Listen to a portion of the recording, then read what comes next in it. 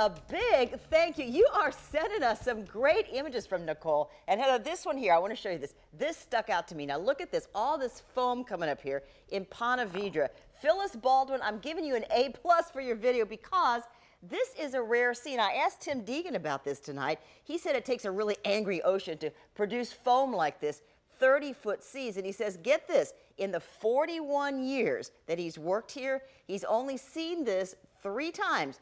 Floyd, Matthew, and today with Nicole. Fascinating video. Thank you so much for that one. And Jeannie, I got to show you what Leslie Myers uh, posted this on our Weather Watchers Facebook page. You know, this house, you may remember, we showed it to you during Hurricane Ian. Uh, this is in Vilano Beach along A1A. We were concerned about would it survive Ian? It did. Would it survive Nicole? There it is today. It survived. So we want to thank Leslie for sending that video and those pictures to us as well. And Stan, good video here, Stan. It looks as if Nicole could just kind of shove that over with her little finger.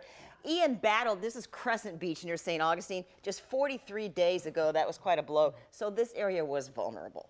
And Jessica Bradstreet sharing a jarring image. A lot of people talking about this. This was this morning on the Dames Point Bridge. It was shut down because of the semi, which rolled over onto its side into that concrete barrier due to high winds this morning. Uh, the good news is, according to Florida Highway Patrol, no one was hurt. And one more here, Sandra Santana. I mean, this is a mess. And talk about visualizing what you got to clean up after Nicole. This is the Doctor's Lake area. And you bet this pool is closed. Tim was telling me now, this is a good reminder. This is 30 miles from the ocean.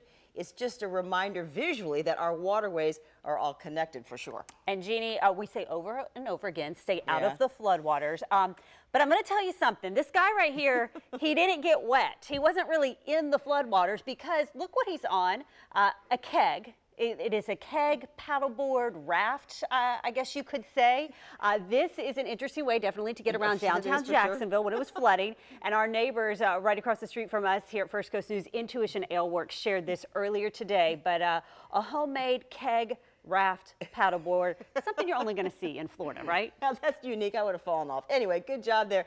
And please share your weather pictures with us. It's easy. Just download the First Coast News app and then click on Near Me at the bottom of your screen and you can upload your photos and your videos.